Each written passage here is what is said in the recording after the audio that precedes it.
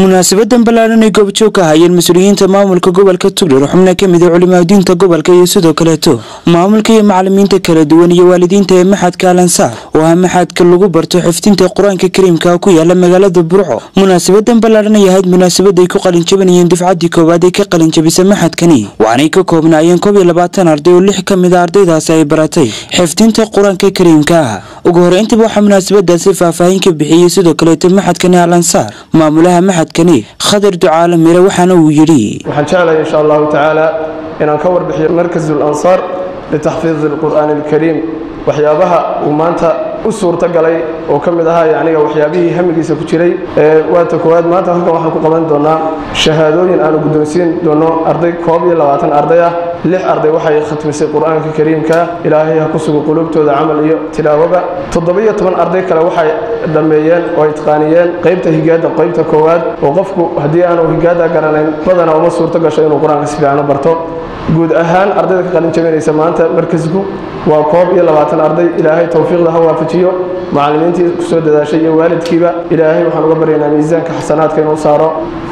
Waxaan aaminsanahay haddii ardayda loo qabto wakhti oo qur'aanka qofka loo cayimo la yahado intaasaad ka baxaysaa oo intaasaad sanadka dambe gaadhaysaa ugu yaraan haddii uu gaari waayo inuu saddex meelood oo laba meelood qofkii gaadhayo taasina ay tahay wax macallinkii iyo ardaygii baa ka dhacay. Waxa fiican insha allahu tacaala aanu qorshaha ku darsannay. Aanu jecelnahay haddii ay nalaga faa'idaysto in ardayda wakhti loo qabto oo la yaho qof walba intaasaad ku dhammaynaysaa. Waalidka iyo macallimiintu haddii ay iska kaashadaan ardayga oo ay ma garanaysaa ka war hayaan waa laga midho dhalin karaa. Qaar ka mid a culimaadiinta kala duwan ee gobolkan tuudhar iyo sidoo kaleto waalidiinta kala duwan ee maxadkani alansaar oo halkaasi ka hadlay ayaa waxay tilmaameen siday ugu faraxsan yihiin maxadkani iyo sidoo kaleto ardaydan ka qalin jabisay iyagoona duca iyo dardaaranba halkaasi uga soo jeediyey. Runtii farxad weeyaan inaynu aragno ardayda da'da yar oo ilaahay kitaabkiisii subxaanahu wa tacaala runtii intuu awooddooda ilaahay u sakhiray inay xifdiyaan waxaan leenahay allah subxaana wa tacaala qur'aanka qalbigiina ha ku sugo kuwa ku camalfalana allah idinka yeelo subxaana wa tacaala ilaahay kitaabkiisii oo wax weeyaan wax ilaahay kutubu soo dejiyo oo ugu weynaabaa maanta ayaa xifdideen waxaan leenahay nicmadaa ballaadhan oo nicamka waaweyne alla uu bixiyo ka mid ah ku fara adayga waxaa laydinka rabaa inaad noqotaan ehlulqur'aan dufcadda ardayda ee maanta ka baxaysa markasul ansaar khatimaysa qur'aankii kariimka ahaa iyo ardayda higaaddu iyaguna higaadda maanta sida fiican loo baray waynu u ducaynaynaa in ilaahay laabahooda iyo qalbiyadooda ilaahay qur'aanka uu ku sugo adduunka waxaa ugu qaalisan bashar bani aadam ilaahay qur'aankiisa qalbigiisa uu ku sugay oo xafiday oo weeleeyey oo ku dhaqmay. Waxaan runtii dareemayaa farxad iyo suruur qalbi ah ardaydan da'da yar ee nuurku uu ka ifayo ee maanta ama galabta loo xafladaynayo inay soo gebagabeeyeen ama soo khatimeen kitaabkii qur'aan kariimka iyo xifdigiisa iyo kuwa kale ee iyaguna la socda intaba waa wax aad iyo aad iyo aad loogu farxo. Waxaan leeyahay ilaahay ajar iyo xasanaadka aakhiro ilaahay ha idinku buuxiyo. Ilaahay waxaan uga ducaynayaa ardaydaa qalin jabisay ee lixdaan ah in quluubtooda ilaahay ku sugo qur'aanka kariimka dhammaantii xubno ka mid a ardayda kala duwan ee ka qalin jabisay maxadkan oo iyaguna halkaasi ka had waxay u mahad celiyeen maamulka maxadkan iyagoona halkaas kusoo bandhigay wixii ay barteen iyo ayadka qur-aanka kariimka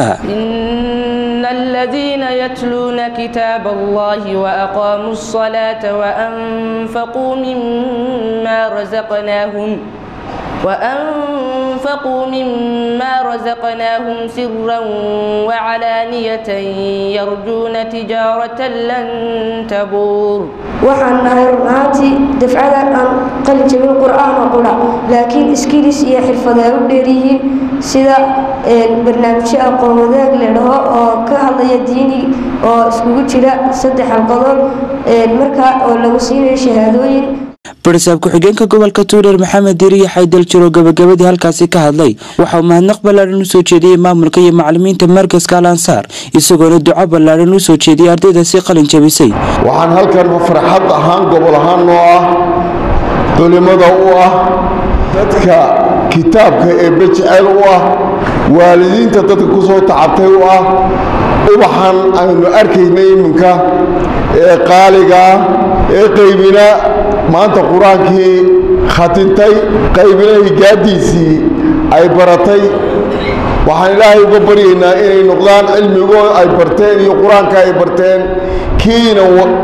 ina wada anfaca waalidiye dhammaan gobol ahaan iyo islaam ahaanba. In ilaahay ka dhigo. Gebagabadii waxaa halkaasi shahaadooyinka lagu guddoonsiyay ardaydaasi koob iyo labaatanka ay ka qalinjabisay maxadka naalansaar oo lix ka mid a ay barteen xifdinta qur'aanka kariimka. Waxaanay sidoo kaleeta ardaydu ashaada sharafyo ku maamuuseen maamulka iyo macalimiinta markaskani. Waa khaalid bakayle fogaan aragga xorta star t v burco